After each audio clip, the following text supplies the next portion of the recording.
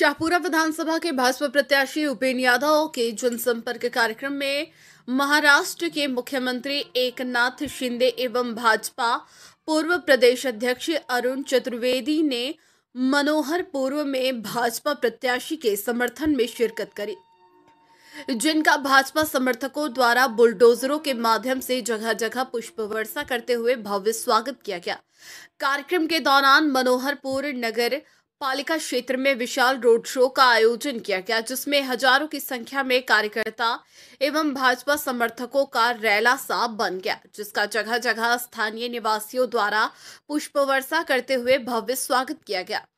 यह road show मुख्य मार्गों से होते हुए मनोहरपुर के गांधी चौक पर पहुँचा, जहाँ पर महाराष्ट्र के मुख्यमंत्री एकनाथ शिंदे ने जनसभा को संबोधित करते हुए पूरे राजस्थान में राम राज्य लाने के लिए भाजपा के पक्ष में वोट करने की अपील करते हुए भाजपा प्रत्याशी उपेन्द्र यादव के द्वारा युवाओं के हक को लेकर विगत कई वर्षों से किए जा रहे कार्यों की प्रशंसा करते हुए उपेन्द्र यादव के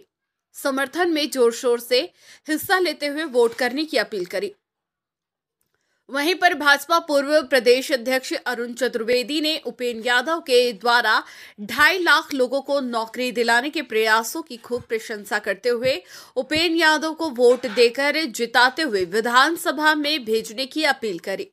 भाजपा प्रत्याशी उपेन्द्र यादव ने जनसभा को संबोधित करते हुए कहा कि उन्होंने विगत पंद्रह वर्षों से युवाओं के हक के लिए जगह जगह 300 से अधिक रैलियाँ करी तथा कई बार जेल भी गया तथा आगे भी जनता के हक के लिए वह हमेशा 24 घंटे सबके लिए तैयार रहेगा। तथा उन्होंने कांग्रेस के पेपर लीक, भ्रष्टाचार तथा गंदी जातिवाद राजनीति को मिटाने के लिए भाजपा के पक्ष में वोट करने की अपील करी।